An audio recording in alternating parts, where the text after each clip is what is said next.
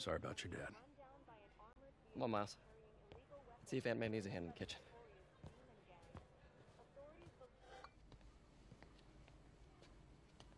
Hey, May.